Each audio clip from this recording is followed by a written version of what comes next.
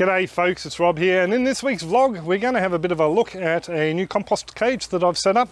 Uh, it's actually a Rob's version of Diego's version of the Johnson Su bioreactor. It's a composting method. Um, I would urge you to look at Diego's clip. There will be a link in the description below and also little buttons will pop up at the end uh, looking at um, uh, the science behind and his reasoning behind why he's setting it up this way.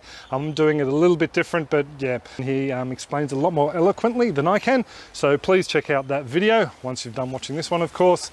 Um, and I've also run through the first section of the clip, uh, a little bit of an issue we're having with the aquaponics, uh, with the fish in there in particular. Um, so yeah, I'll give you a bit of an update on that halfway through the clip. But yeah, I'll stop nattering on and we'll um, get cracking and look at my initial idea behind how I was going to set up the cage. Thought I'd give you a bit of a look at what's going on with this cage. I'm actually setting it up where the old fish tanks used to be. Uh, came out here the other day and dug out a whole heap of the asparagus fern that we have down here. It's a real pain in the butt, uh, sends runners underneath the ground. And what I decided to do was uh, chop all the greenery off the, um, the crowns that are buried down in the ground. And I'm just letting them dry out here in this bucket. Will, the top one's drying out anyway, the bottom ones slowly are. And I made sure there were no um, seed pods on them or little um, berries on them and they're going into the um, new bioreactor. But the go from now is we'll be going down below the mango and grabbing a lot of um, leaf litter and the decayed logs and bringing them up here and adding them as a base down there with some spent fish food. I'll tell you a bit about that in a tick. Um, down as the base on here, and that will hopefully help to bring in some um, uh, some fungus and other uh, natural native bacteria. And then we're going to build up layers of the um, Chinese Celtis over there. That tree there, and there's another one uh, peeking out over the top of the hoop house, and there's another one further down the back. There's one in the front yard, and there's also some um, pigeon pea that I want to mulch up as well plus some compost I've been saving in buckets and all that sort of stuff. That will be going in here. And yeah, setting it up as a uh, bit of a um, Johnson Su style, but nowhere near Johnson Su uh, bioreactor.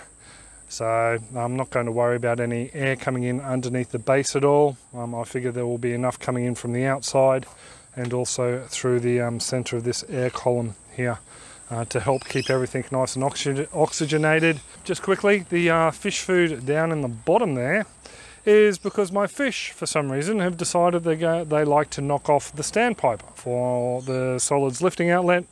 So I have to keep, um, yeah, putting it back on. I'm not too sure what the go is, whether they're getting a bit boisterous or whether it's just getting a little bit um, uh, loose. It's been, what, it's been in a fish tank for, I don't know, probably coming up six, seven years now. So yeah, I'll, I'll, look into that, and if I have to, I'll just pop in a uh, 316 stainless steel screw in the top just to stop it from falling off. But I think it's just the fish um, getting at, getting very active and boisterous when they feed. Now for a bit of an update on what's wrong with these little fellas. Obviously, you can see they're not finishing all off their morning feed, and just to show you how much they're little little they're getting, I gave them probably um, that much in there and they've probably taken about a dozen pellets if that. Now what I think is happening is the solids lifting outlet is being knocked off by the fish but it's not because they're ravenously feeding. I think it's because they're being visited by predator birds in the morning. Uh, two mornings in a row now we have seen kookaburras, it's a pair of them, fly out from under the deck and land on the um, cross arm of the uh, clothesline over there. Uh, the second time it happened, I, I, well, the first time I didn't think anything of it, thought they were just getting um, a little bit friendly, like the butcher birds and magpies have done. Um, but the second morning, I heard a big splash before the second one didn't um, land on the clothesline, he just flew through. And I have a feeling um, he's just spooked the fish to the point where they've just, you know, run around, run around, swum around the bottom of the tank and knocked off the solids lifting outlet. Um, so yeah, the fish aren't feeding too well in the morning, but the good news is in the afternoon they seem to be fine. So I'm thinking uh, maybe they're just not feeling comfortable in the morning with this amount of light coming through here.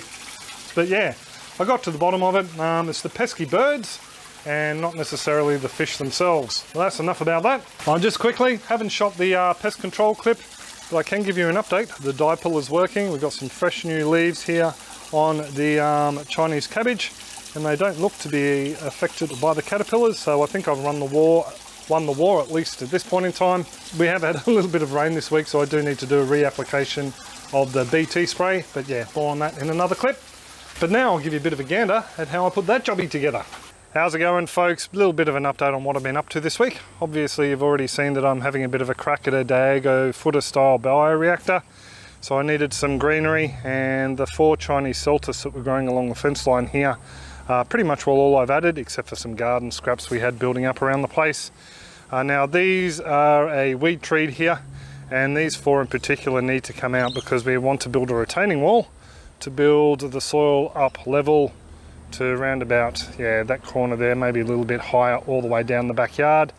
Um, just so we have more usable space because I don't know if you can tell from here, but yeah, there's a little bit of a drop off. Makes it hard to um, set up chook pens and things like that.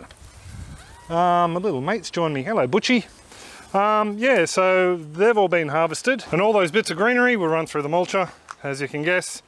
And this is what we've ended up with a uh, pretty full cage just from those four trees. I do have a few others that I could have chopped down and added, but I'm thinking what I will do is I will um, mulch them down at a later date as this pile settles and add them in on top. I'll give you a bit of a gander at where we're at this morning. Um, there's our little aeration tube made from six millimeter uh, chicken wire. I've done a, a wrap around there so it's nice and firm. And as you can see, we'll stick the light on. I don't know if that's helping at all, but yeah, it's staying round all the way to the base. Um, it has settled already overnight. It's down probably about, I don't know, about 10 mil, 4 inches. 10 mil, 100 mil, 4 inches. And we're starting to see the temperature start to rise just with the water and the Chinese Celtis. We're sitting at around about over 100 degrees, almost 40 degrees um, Celsius. Uh, when I put this in, I think it was just under 30 degrees uh, on the first day. Actually took me two days to do this because we were interrupted by rain a few times, but you get that. Uh, this is based on a suggestion made by Diego Footer, and I would really like you to go over and check out his channel and suss out um, his explanation on um, his development of this style, a bit of an advancement on the Johnson Su method. Um, I can tell you that I've made it a little bit different again.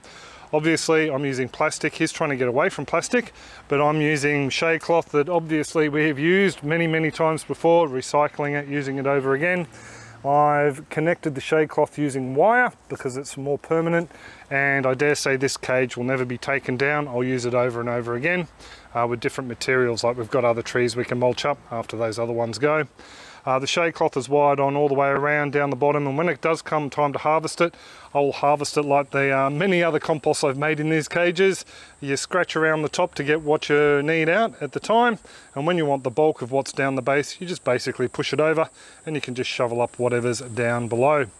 Uh, now, just a few little quick pointers. I have made this a little bit different um, uh, internally as well.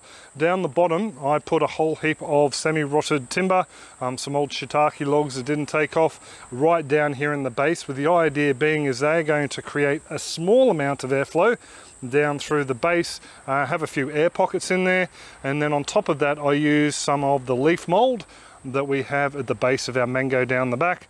And the idea behind that is hopefully uh, we'll have some microorganisms and fungi in there um, that will help seed this pile here. And from there I just layered in the mulched up Chinese Celtis at around about 8 inch or 200 millimeter layers and then gave it a blast with the hose just to help give it um, a little bit more moisture. Around about halfway I tossed in a bucket full of kitchen scraps I've been saving up and also a load of garden waste that had just been stockpiled for the next compost cage build and then yeah just on top of that went more of the Chinese Celtis with a bit of a hose down in between layers. So just a quick run through on um, how these jobbies are supposed to work. Basically they're an aerated compost where you don't need to turn them. Now the idea is that this central core here um, will provide air from the center up to about a foot into the pile and as you can see here um, we're also going to have air coming in a foot from this side and that will help keep a lot of oxygen in the system for the bacteria. It should stay fairly well aerated. I do know from our old systems that after this stuff starts to decompose, it will start to settle down upon itself. Um, so you will lose some of those air gaps in there. But as I found with other piles, um, it's fine just to leave it go. Um, the compost worms will move in and um, they'll slowly break down and aerate the, the whole compost by leaving their little tunnels and tracks all the way through it. Now as for water, keeping the mo moisture content at 70%, both Diego and David Johnson recommend having some sort of an irrigation system around the top of the pile, um, just to, that you can put on daily to let it um, keep the pile nice and moist. I'm not going to worry about that. Whenever I fill up the trays down there, uh, for the plants. Um, I'll just run the hose around the top here. It's pretty much all every second day. So I'll give it a fairly good drenching and it should have good enough um, drainage that it won't become too waterlogged. And just in case the thermophilic bacteria don't have enough to feed on in the pile to start the cooking process, I have around about 15 litres of raw water, aka aged urine, up my sleeve, well not up my sleeve in some bottles, and I can add five litres on at a time, and that'll provide a load of urea, ammonia and other elements, and the bacteria will feed on that and start the cooking process. And once the pile um, cools down, after they've done their job, uh, the fungi will move in and they can start feeding on the woody remains of any material that's in the pile. Uh, it is also sitting on the soil, uh, unlike the Johnson Su, which is up on a pallet, and that's another thing Diego pointed out. You know, if it's in contact with the soil, we're going to end up with all those goodies in there.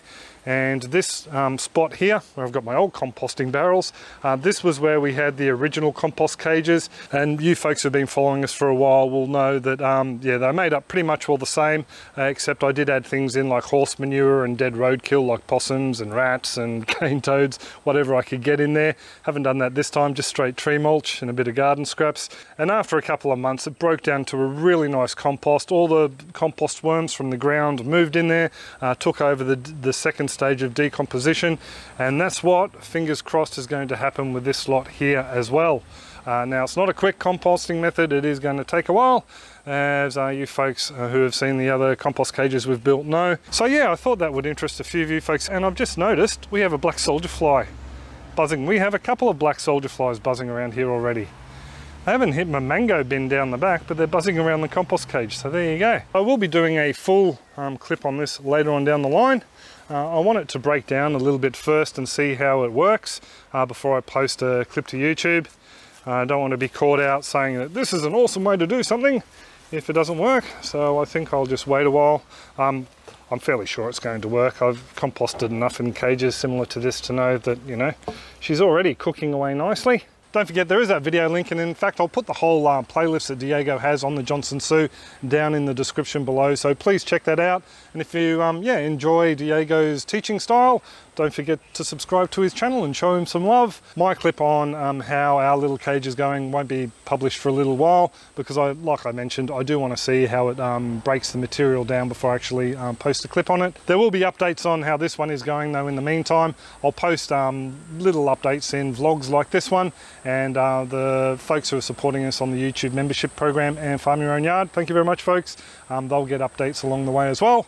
But I will pretty much all leave it there. I do hope you're all well and happy in your own gardens and aquaponics are booming, and I'll catch you next video. Cheers, folks. Take it easy.